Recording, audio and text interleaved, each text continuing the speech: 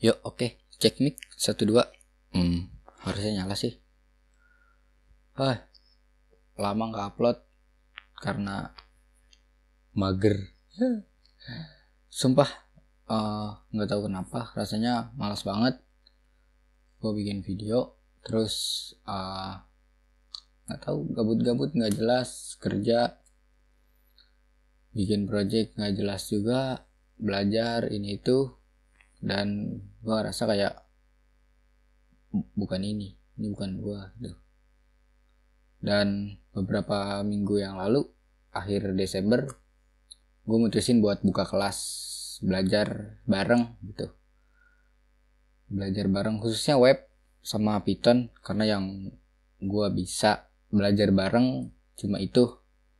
Dan karena itu muncul banyak pertanyaan salah satunya adalah apa itu pemrograman? Wah. Pertanyaan besar buat gue apa itu pemrograman? Karena sebenarnya banyak banget penjelasan tentang pemrograman. Jadi gue bikin video ini buat uh, ngejawab pertanyaan apa itu pemrograman? Supaya gue nggak kudu ngulang-ulang pertanyaan lagi. Oke, pertama uh, menurut Wikipedia, jadi Wikipedia itu punya dua penjelasan apa itu pemrograman gitu. Pertama, pemrograman adalah proses menulis, menguji, memperbaiki, dan memelihara kode yang membangun suatu program komputer. Jadi sederhana banget ya. Nguji, eh nulis udah selesai ditulis kita uji kalau ada error kita perbaiki setelah jadi kita pelihara apa yang kita pelihara yaitu suatu program komputer gitu kemudian penjelasan kedua pemrograman adalah suatu seni dalam menggabungkan satu atau lebih algoritma yang saling berhubungan gitu dengan menggunakan satu bahasa pemrograman tertentu sehingga menjadi suatu program komputer. Bahasanya ini banget ya, teknis banget ya. Kalau buat orang awam kayak masih bingung gitu. Terus gue coba cari kan penjelasan lain. Nah gue dapet penjelasan menurut bahasa awam. Gimana penjelasan dalam bahasa awam? Jadi pemrograman adalah cara untuk menginstruksikan komputer untuk melakukan berbagai tugas. Jadi pemrograman itu cara kita programmer menginstruksikan komputer melakukan berbagai tugas. Bingung? Sama. Kita bedah. Pertama menginstruksikan komputer. Jadi pada dasarnya kita nih programmer ngasih komputer suatu set instruksi yang ditulis dalam bahasa yang si komputer ngerti. Paham kan? Nah, contoh instruksinya itu kayak apa? Misalnya, nambahin dua angka gitu, kayak 5 tambah 7, 12 itu kan. Itu kan kita yang kasih nih. Instruksinya, eh, kalau ada orang masukin dua angka lu jumlah, pokoknya kayak gitu aja. Itu aplikasi sangat sederhana gitu. Atau membulatkan angka. Misal kalau ada angka yang masuk 7,3 buletin jadi 7. Udah gitu aja. Tok, pokoknya lu masukin angka, buletin. Sama kayak manusia, kayak yang ngerti bahasa Inggris, Spanyol, Jerman, Jepang, kayak kayak gitu-gitu. Komputer juga sama. Dia tuh ngerti beberapa bahasa tapi yang dia ngerti itu kayak instruksi sebenarnya bukan bahasa instruksi yang ditulis dalam bentuk sintaks nah instruksi dalam bentuk sintaks itu disebut bahasa pemrograman. Sintaks itu kayak urutan perintah. Itu kan instruksi ya instruksi menginstruksikan komputer. Kemudian yang kedua adalah melakukan berbagai tugas. Nah tugas ini bisa sederhana kayak tadi tuh bisa juga rumit. Contoh yang rumit kayak apa misal yang rumit uh, ngitung saham rata-rata saham selama lima tahun terakhir gitulah. Itu kan butuh data yang harus diolah ma. Data yang harus diambil dulu sebelum diolah. Jadi datanya diambil diolah disajikan gitu kan. Itu kan rumit gitu.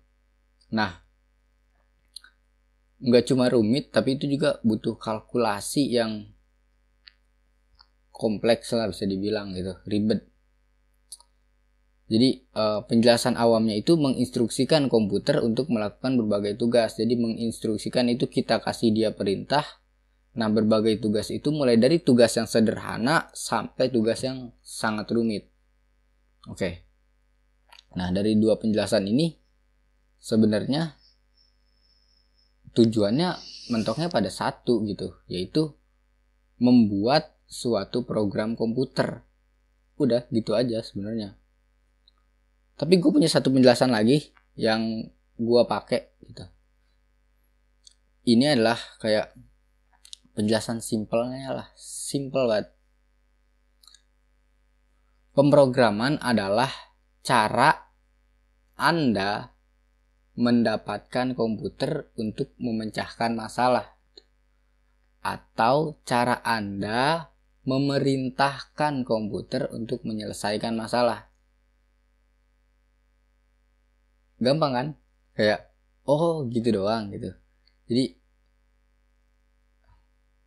tapi ada dua frasa kunci di sini nih. Yang pertama itu anda. Anda itu programmer yang kedua itu memecahkan masalah. Jadi ada masalahnya nih. Jadi ada masalahnya nih. Nah anda ini maksudnya programmer jadi tanpa programmer komputer ini nggak guna nih. Komputer ini nggak berguna. Jadi ya udah dia cuman hardware aja yang nggak bisa ngapa-ngapain yang cuman ngubah listrik jadi panas udah gitu aja tok tanpa programmer dia bukan apa-apa dan memecahkan masalah itu kayak komputer ini memang memang alat yang tugasnya buat menyelesaikan masalah gitu. Pertama, komputer dibuat sebagai kalkulator buat ngitung.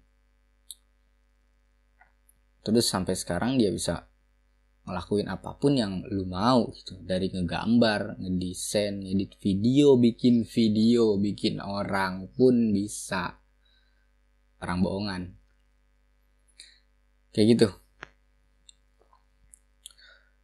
jadi uh, dari tiga penjelasan itu ya poinnya sih satu intinya pemrograman adalah nyuruh komputer bahasa gampangnya gitu nyuruh komputer buat ngelakuin apa yang kita mau itu doang inti dari video kali ini. Ah. ya udah uh, mungkin itu aja sih yang bisa gue jelasin bisa gue kasih tahu karena ilmu gue juga sedikit dan masih harus banyak belajar lagi. Tapi dari tapi dari pertanyaan itu gue bisa kasih tiga penjelasan. Tuh apa itu pemrograman menurut Wikipedia bahasa awam dan penjelasan yang gue pakai gitu. Ya kurang lebihnya mohon maaf. Uh, sampai jumpa di video berikutnya. Bye.